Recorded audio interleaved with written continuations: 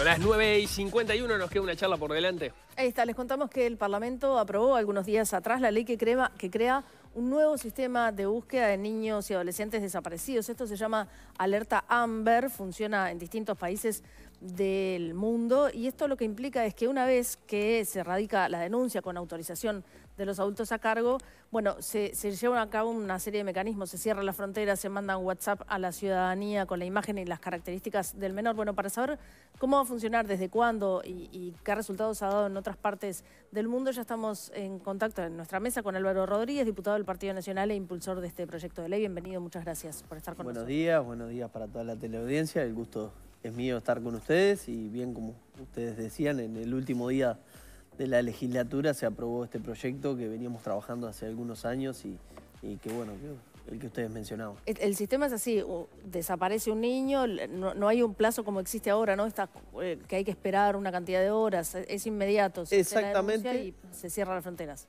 Exactamente, no es el cierre de fronteras, sino que es una alerta temprana mm. ante la desaparición de un niño, niña o adolescente. ¿Qué quiere decir hoy en Uruguay?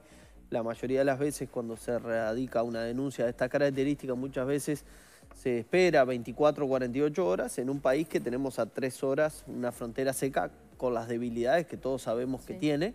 Y esto lo que implica es una alerta temprana a puertos, aeropuertos, a los puntos de frontera y algo sustancial también que es para los periodistas. Hoy los periodistas cuando se da un caso de una desaparición tienen que ir a la familia, solicitar autorización, corroborar que la información así sea para recién publicar. Y eso lleva tiempo y a su vez no la exactitud que muchas veces se necesita. Entonces le va, van a emitir la alerta, van a tener un rol preponderante los medios de comunicación y las compañías telefónicas con las características físicas, con la foto, la última vez que se lo vio.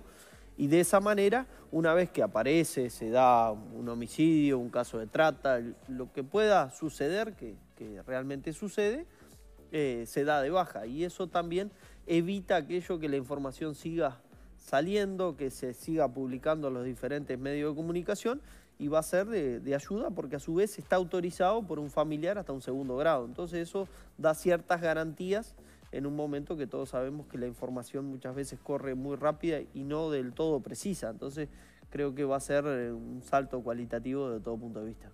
Eh, Esto, perdón. No, ¿desde, cu ¿desde cuándo se empezaría a aplicar y, qué, y qué resultados ustedes conocen efectivamente que haya tenido en nuestros países? Bueno, eh, se llama Amber por una niña, Amber Asherman, que falleció en Estados Unidos después de una desaparición y este protocolo, esta alerta se ha repetido en más de 20 países. Entonces, este proyecto de ley eh, dice que no más de 120 días debe reglamentarla el Ejecutivo. Esperemos que sea lo antes posible porque creemos que el efecto va a ser inmediato y más teniendo en cuenta lo que tenemos a nivel regional. Brasil es una problemática muy grande que, está viviendo y ni que hablar Argentina en este momento con el caso Logan. Y Uruguay no es ajeno a estas situaciones y en otras partes del mundo esta alerta se ha ido desarrollando, se ha ido avanzando y ya han avanzado hasta alguna otra alerta, como puede ser la alerta Silver para las personas con Alzheimer, con demencia senil, o eh, también se están pidiendo algunas medidas en lo que tiene que ver con el autismo. Y bueno, hay que comenzar con esto y creo que en un periodo siguiente hay que ir avanzando porque Uruguay se tiene que ir ayornando a temas que, que son de, por lo menos de, de importancia y que cuando lo vivís realmente valorás la importancia que eso tiene. Y esto parte de, lo, de algunos familiares que han vivido esto, de una abogada como es Gabriela Torres, de Ignacio Susaeta, que es un caso muy conocido, pero en cada medio que vas, ahora no tanto porque ya pasó un tiempo, me llamaba algún familiar de algún departamento que vivió una situación similar y eso eh, ahí realmente empecé a valorar aún más la importancia que podía tener. Pero en el, caso, en el, en, el, caso de Estados Unidos, concretamente, ¿se conoce cuál es el porcentaje o el índice de, de, de eficacia que tiene esta medida al tratarla? El, el, tema en Estados Unidos, yo logré recorrer varios estados y no tiene la misma aplicación en función de cuál estado sea. Sí lo que te puedo decir que el efecto es importante. Eh, han avanzado mucho más uno va a la autopista y le ponen en los letreros de la autopista. Claro. Muchas veces en lo que tiene que ver alguna de, las, de las alertas. Vas a España, ingresás la tarjeta en un ¿España cajero. lo aplica también? Y te, te, aparece por cinco segundos la, carta, la cara de la persona que se encuentra desaparecida.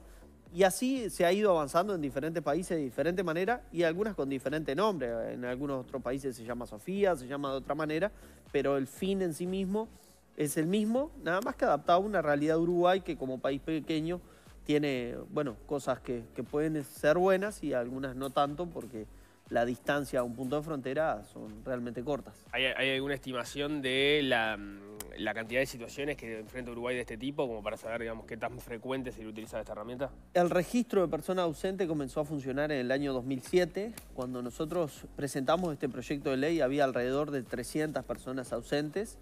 Hoy sabemos que el nivel de denuncias es alto, pero eso creo que hay que pulir un poco lo que tiene que ver con el registro, hay que dotar un poco más de personal, algo más de recursos, porque esto sí queda eh, de manifiesto las estadísticas en el tiempo que viene en aumento y es algo que evidentemente va a repercutir. Álvaro Rodríguez, estaremos atentos a ver cuándo se pone en funcionamiento justamente y, y la información que nos empieza a llegar. Te agradecemos mucho que hayas venido El a gusto es mío y, y estoy a las órdenes, como siempre, por acá o por Florida, que, que sé que hay varios que, que lo están mirando y lo siguen continuamente. Muy amable. Muy Muchas amable, gracias. gracias por venir.